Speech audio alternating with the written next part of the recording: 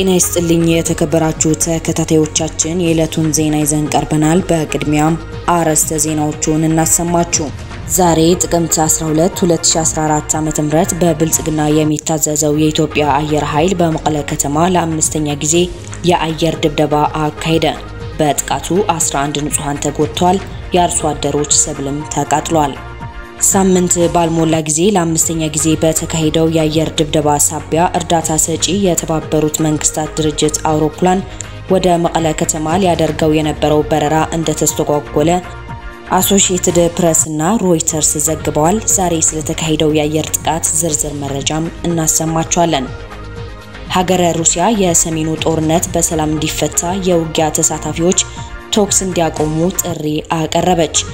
በኢትዮጵያ የውስጥ ጉዳይ ጣልቃ አልገባም በማለት የጸጥታው ምክር ቤት አብይ አህመድና ሸሪኮቹ ለፈጸሙት ወንጀል እንዳይቀጣቸው ምክንያት በመሆን የቆየችው ሩሲያ አሁን ተገልብጣ ለማኝ የሆነችበት ምክንያትንም እንዳስሳለን። የተባበሩት መንግስታት ድርጅት በበኩሉ ሰሜን ኢትዮጵያ ላይ የተካሄደ ያለው ውጊያ እንዲቆም ዳግም ጠይቋል። የካሊፎርኒያው ተወካይ በበኩሉ ወደ ትግራይ ድጋፍ ሰጪ በረራዎች እንዲካሄዱና የኤርትራ ሰራዊት ከውጊያው ሙሉ ለሙሉ እንዲታገድ ጥሪ አቅርበዋል። ከውጭ የአሜሪካው ፕሬዝዳንት ጆ ባይደን ቻይና ታይዋን ላይ ለምትቃጣው ጥቃት ለመከላከል አሜሪካ ዝግጁ እንደሆነች ገለጹ። የቱርኪው ኤርዶሃን በበኩላቸው የአሜሪካ የጀርመንና የፈረንሳይ አምባሳደሮችን ከሀገራቸው ለማባረር እንዳሰቡም ገልጿል። የእነዚህን ዜናዎች ዝርዝር እናሰማችኋለን። እስከ መጨረሻው ተከታተሉን። በብልጽግና የሚዘወረው የኢትዮጵያ አየር ኃይል ዛሬ ጥቅምት 12 2014 ዓ.ም በመቀለ ከተማ ለአምስተኛ ጊዜ የአየር ድብደባ አካሄደም። ከሰኞ ጥቅምት 8 2014 ዓ.ም ጀምሮ እስከ ዛሬ ጥቅምት 12 2014 ዓ.ም ድረስ የመቀለ ሰማይ በኢትዮጵያ አየር ኃይል የጦር አውሮፕላኖች ተጨናንቋል። እስካሁን በተካሄዱ የአየር ጥቃቶችም በርካታ ንጹሐን ሰለባ ሆኗል። ዛሬ የተካሄደው የአየር ድብደባም በመቀለ ከተማ በሚገኘው አሪድ የተባለ ዋናው የመቀለ ዩኒቨርሲቲ አካባቢ ሲሆን በጥቃቱ ሳቢያ እስካሁን 11 ሰዎች ቀላልና ከባድ አደጋ ደርሶባቸው ወደ ሆስፒታል የሄዱ ሲሆን ጥቃቱ በተፈጸመበት አካባቢ የነበረ የንጹሐን የተሰበሰበ ሰብል እንደተቃጠለም ትግራይ ውስጥ የሚገኙ ሚዲያዎች አጋልጠዋል። ይህንን ክስተት ዓለም አቀፍ ሚዲያዎች የዘገቡ ሲሆን ሮይተርስ የዜና ወኪል የትግራይ ባለስልጣናትን በዚህ ሳምንት ለአምስተኛ ጊዜ በመቀለ የአየር ጥቃት መፈጸሙን ነግሮኛል ሲል አረጋግጧል። በተመሳሳይ የፈረንሳይ ዜና ወኪል ኤኤፍፒ ምንጮቹን ጠቅሶ በመቀለ ከተማ ለአምስተኛ ጊዜ የአየር ጥቃት ተፈጽመዋል ሲል ዘግቧል። አሶሺየትድ ፕሬስ በበኩሉ ዛሬ የተካሄደው የአየር ጥቃት የህወሓት አመራሮችንም ሆነ ወታደሮቻቸውን ኢላማ ያላደረገ ይልቁንስ ንጹሐንን የጎዳ ሲል በዘገባው ላይ አስፍሮታል።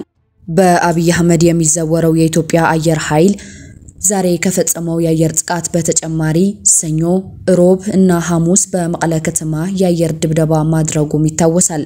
ትላንት አየር ኃይሉ የተሳካ ድብደባ አድርጌያለሁ ሲል የሐሰት መረጃ ቢያናፍስም የትግራይ መንግስት ቃል አቀባይ አቶ ጌታቸው ረዳ በበኩላቸው በይፋዊ የትዊተር ገጻቸው ላይ እንደጻፉት የጸረ አየር ኃይላችን ህዝቡን ከጥቃት ለመታደግ ባደረገው ተጋድሎ በትላንትናው ዕለት የኢትዮጵያ አየር ኃይል ሶስት ጊዜ ለማጥቃት ያደረገውን ሙከራ እንደመከተው አስታውቀዋል።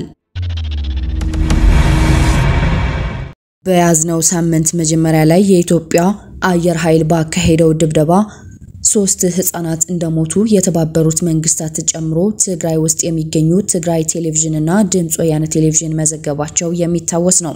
በትላንትናው ዕለትም በመስፍን Industrial Engineering አካባቢ በተደረገ አየር ጥቃትም ተቋሙ ጉዳት እንደደረሰበትና ከስምንት በላይ የሚሆኑ ሰዎች የመቁሰል አደጋ ደርሰባቸው ወደ አይደር ሪፈራል ሆስፒታል እንደተወሰዱ የተለያዩ ዓለም አቀፍ ሚዲያዎችን ጨምሮ የሀገር ውስጥ ሚዲያዎችም ዘግበዋል። በዛሬው ዕለት የተካሄደው የአየር ጥቃትም 11 ንጹሐንን የጎዳ ሲሆን አርሶ አደር የለፋበት ሰብል መና ያስቀረ ነው።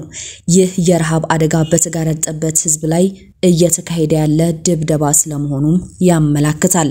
በትግራይ ህዝብ ላይ የተከፈተው ጦርነት በትግራይ መሬት ላይ የተካሄደበት በነበረበት በመጀመሪያዎቹ ወራት የኢትዮጵያ መንግስት በርካታ የአየር ጥቃቶችን አካሂዷል።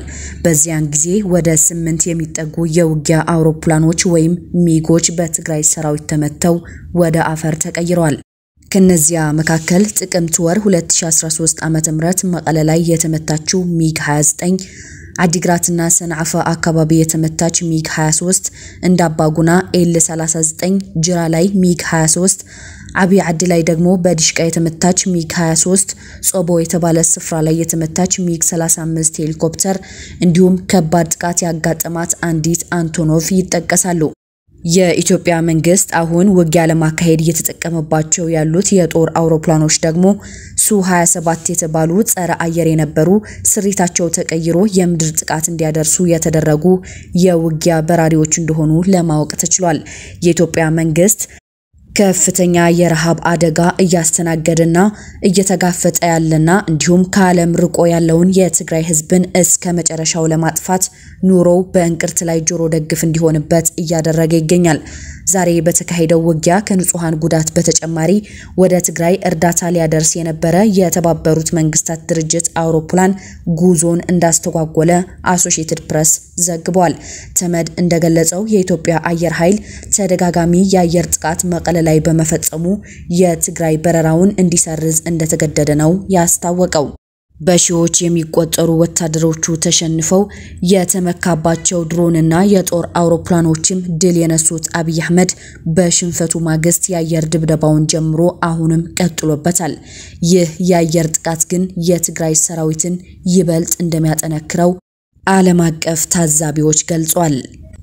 የኢንተርናሽናል ክራይሲስ ግሩፕ የኢትዮጵያ ጉዳዮች ዋና ተንታኝ የሆኑት ዊሊያም ዴቪንሰን የትግራይ ኃይሎች ከአጎራባች አማራ ክልል በኩል በድል ወደፊት መገስገሳቸውን ተከትሎ የኢትዮጵያ መንግስት ሰማይ ላይ ያለውን የበላይነት መጠቀም እጁ ላይ የቀረ ብቸኛው አማራጭ ነው ብለዋል።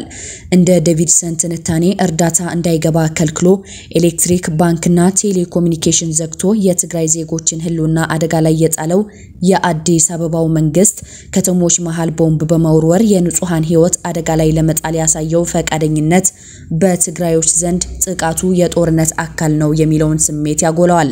በዚህ ምክንያት የአየር ጥቃት ትግራዮችን ከማዳከም ይበልጥ እንዲቋቋሙስ ሊያስገድዳቸው ይችላል በማለት ገልጿል። መሬት ላይም ይኸው ነው እየታየ ያለው። የትግራይ ሰራዊት ደቡብ ወሎ ላይ ሰፊ ሆነ የጸረ ጥቃት ዘመቻ እያካሄደ ሰፋፊ ከተሞችንና ወሳኝ አካባቢዎችን በመቆጣጠር የደሴ ከተማ አስተዳደሮች ወደ አዲስ አበባ እንዲሸሹ እያደረገ ነው የሚገኘው። ሀገረ ሩሲያ የሰሜኑ ጦርነት በሰላም እንዲፈታ ተፋላሚ ኃይሎች ያለምንም ቅድመ ሁኔታ ተኩስ እንዲያቆሙ ጠየቀች። በአብይ አህመድ ቡድንና ሸሪኮቹ እንዲሁም በትግራይ መከላከያ ኃይሎች መካከል እየተባባሰ የመጣውን ወታደራዊ ግጭት እየቃኘን ነው ያለው የሩሲያ ውጭ ጉዳይ ሚኒስተር ሁኔታው እንዲረጋጋ በውጊያው ላይ የተሳተፉ ያሉ ኃይሎች ያለ ቅድመ ሁኔታ ተኩስ እንዲያቆሙ ጠይቋል። የውጭ ጉዳይ ሚኒስትር ቃል አቀባይ ማሪያ ዛካሮቫ በትዊተር ገጿ ባወጣችው በዚሁ መግለጫ የኢትዮጵያ ሕዝቦችና የግዛት አንድነት ጥበቃ የትግራዩን ግጭት ጨምሮ አገሪቱን ለማረጋጋት መሰረት ነው ብላለች። የሩሲያ መንግስት የሌሎች ሀገራት ግዛታዊ አንድነት በኃይል ንዷል በሚል በምዕራቡ ዓለም የሚቀርብበትን ወቀሳ ለመሸፋፈን ሲል በትግራዩ ጦርነት በሚወሰደው አቋም ላይ ተመስርቶ የኢትዮጵያ መንግስትን ደግፎ ሲከራከር መቆየቱ የሚታወስ ነው። የኢትዮጵያ መንግስት የትግራይ ህዝብ ላይ ያወጀው ከበባ ይነሳ ረሃብ ላይ የሚገኘው የትግራይና የአማራ ህዝብ እርዳታ ይሰጠው፣ የኤርትራ ሰራዊት ከትግራይ እንዲወጣ፣ የአማራ ኃይሎች የወረሩትን የትግራይ መሬት እንዲመልሱ፣ የውጊያው ተሳታፊዎች ውጊያ አቁመው በሰላም እንዲደራደሩ የዓለም ማህበረሰብ ሲወተውት፣ እንዲሁም የጸጥታው ምክር ቤት ከአንድም ሰባቴ የትግራይን ጦርነት ጉዳዩን አድርጎ በወንጀለኞች ላይ የቅጣት ውሳኔ ለማስተላለፍ ሲሞክር በኢትዮጵያ የውስጥ ጉዳይ ጣልቃ ገብተን ሉዓላዊነቷን አንደፍርን ካሉት የትግራይ ጠላቶች መካከል አንዷ ሩሲያ ነበረች።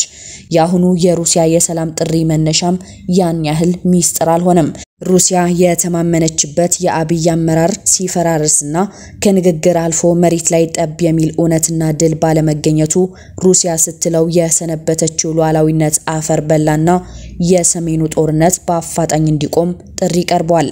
ነገ ከነገ ወዲያ ደግሞ ቻይናና ህንድም ሩሲያን ተከትለው እንደሚጮሁ ይጠበቃል።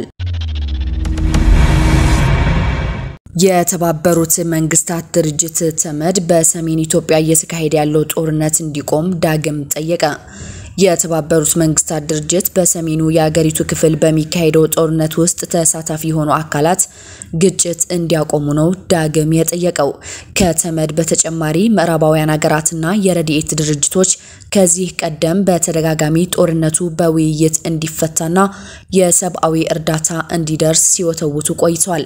በትግራይ አማራና አፋር ተጨማሪ ጉዳቶችንና በሲቪሎች ላይ የሚደርሰውን መንገላታት ለማስቀረት የግጭቱ ተሳታፊ አካላት ከግጭት እንዲቆጠቡ ጥሪያችንን ደግመን እናሰማለን ብለዋል የተባበሩት መንግስታት ድርጅት ምክትል ቃል አቀባይ ፍርሃን ሀቅ።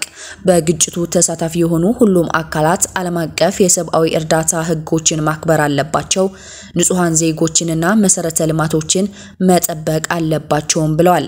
የተመድ ቃል አቀባይ ይህንን ያሉት በሰሜኑ የአገሪቱ ክፍል የሚደረገው ጦርነት ተጠናክሮ በቀጠለበትና የኢትዮጵያ መንግስት በትግራይ መዲና መቀለ ተደጋጋሚ አየር ድብደባ እያደረገ ባለበት ወቅት ነው።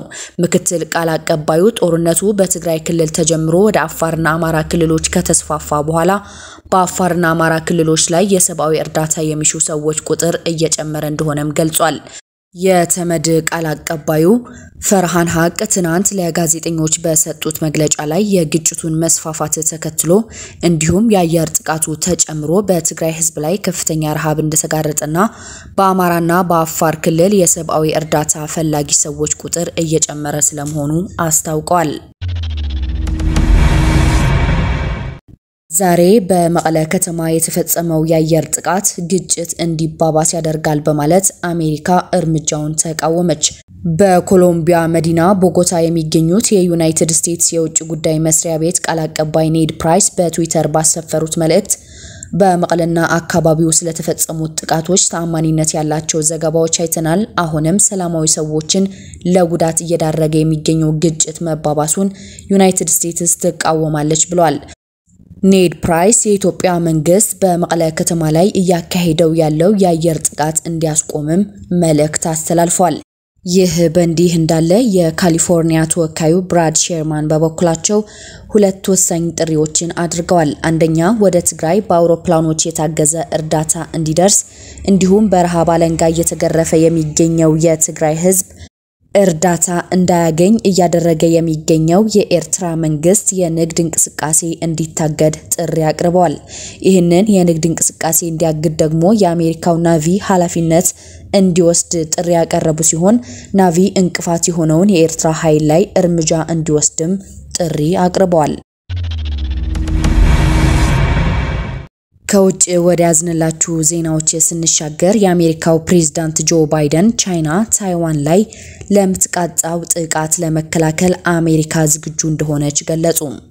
ፕሬዝዳንት ጆ ባይደን ታይዋን ከቻይና የሚቃጣባትን ማናቸውም ጥቃት ለመከላከል አሜሪካ ወደ ታይዋን ልታቀና ትችላለች ሲሉ ነው የገለጹት። ፕሬዝዳንቱ ሰዎች ስለ አሜሪካ ወታደራዊ አቅም ሊያሳስባቸው አይገባም፣ ምክንያቱም ቻይና፣ ሩሲያና የተቀረው ዓለም በዓለም ታሪክ እኛ እጅግ ሀያል ሀገር መሆናችን ያውቃሉ ሲሉም ተናግረዋል። ቻይና የራሴ ነው በምትለው ደሴት ምክንያት ታይዋንና ቻይና መሳሳብ ውስጥ ከገቡ ሰነባብቷል። ለዚህም ነው የአሜሪካው ፕሬዝዳንት ባይደን ጉዳዩ ወደ ከፋ ሁኔታ ካመራ አሜሪካ ከታይዋን ጎን እንደምትሆን የተናገሩት።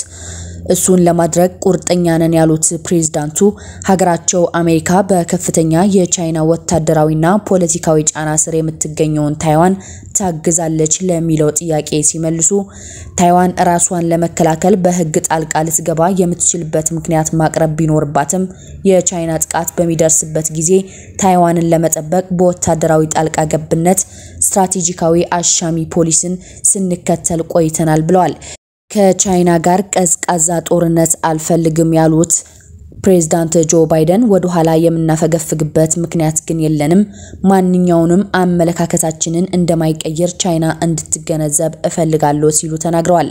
ከአርባ ዓመታት በላይ የዘለቀው የታይዋንና የቻይና ወታደራዊ ውጥረት አሁን ላይ የከፋ ደረጃ ላይ እንደደረሰ እንዲሁም ቻይና እንደ ፈረንጆቹ 2025 ሙሉ የተደራጀ ወረራ ልትፈጽም እንደምትችል የታይዋኑ የመከላከያ ሚኒስትር ቺዩ ኩቼንግ ያላቸውን ስጋት በዚህ ወር ገልጸው ነበር።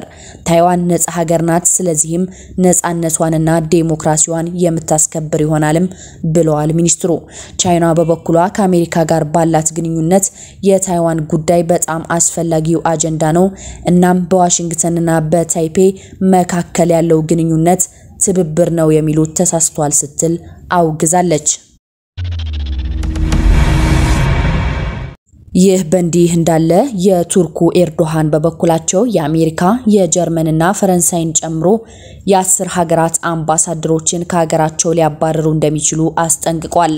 ፕሬዝዳንት ኤርዶሃን ማስጠንቀቂያውን የሰጡት በእስር ላይ የሚገኘው ኦስማን ካቫላ ከእስር እንዲለቀቅ የሚጠይቅ መግለጫ የአስሩ ሀገራት አምባሳደሮች ማውጣታቸውን ተከትሎ ነው። ኦስማን ካቫላ እንደ አውሮፓውያን አቆጣጠር በ2013 በኢስታንቡል ጊዜ ፓርክ ተካሂዶ የነበረውን ህዝባዊ አመፅ በመምራት ተከሶ ነው የተያዘው። ላለፉት አራት ዓመታት በእስር ላይ የሚገኘው ካቫላ በተጠረጠረበት ወንጀል ፍርድ ቤት ነጻ ቢያደርገውም ዳግም በ2016 በተሞከረው የመንግስት ግልበጣ ሙከራ ተሳታፊ ነው በሚል ሌላ ክስ ተመስርቶበት በእስር ላይ ይገኛል። የአስሩ ሀገራት አምባሳደሮች እስሩና የፍርድ ሂደቱን በመኮነን እንዲለቀቅ የሚጠይቅ መግለጫ ነው ሰኞ ዕለት ያወጡት። መግለጫው ያወጡት በቱርክ፣ የአሜሪካ፣ ጀርመን፣ ካናዳ፣ ዴንማርክ፣ ኖርዌይ፣ ፊንላንድ፣ ፈረንሳይ፣ ስዊድን፣ ኒውዚላንድን፣ ኔዘርላንድን አምባሳደሮች ናቸው። ድርጊቱ ያስቆጣቸው ፕሬዝዳንት ኤርዶሃን የውጭ ጉዳይ ሚኒስትራቸው አስሩንም አምባሳደሮች ጠርቶ እንዲያናግር በሰጡት ትዕዛዝ መሰረት ሚኒስትሩ አነጋግሯቸዋል። ኤርዶሃን በጉዳዩ ላይ ዛሬ በሰጡት መግለጫ እነኚህን አስር አምባሳደሮች በሀገራችን የምናቆይበት ሁኔታ ሊኖር እንደማይገባ ለውጭ ጉዳይ ሚኒስትራችን ነግሬያለሁ ሲሉም ገልጿል። ክቡራን ተከታታዮቻችን ለዛሬ ያዝንላችሁ ዜናዎች እነዚህን ይመስሉ ነበር። በያላችሁበት መልካሙን ተመኘንላችሁ። ሰላም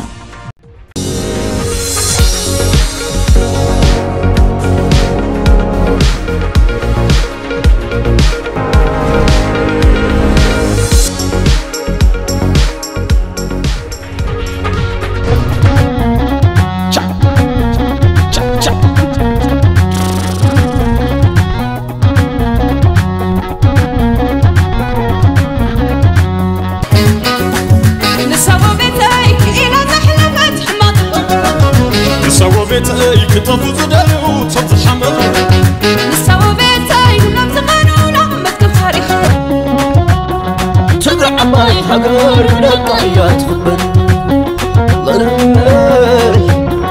ትግራይ ዓባይ ሃገር ደቃ እያ ትኽበር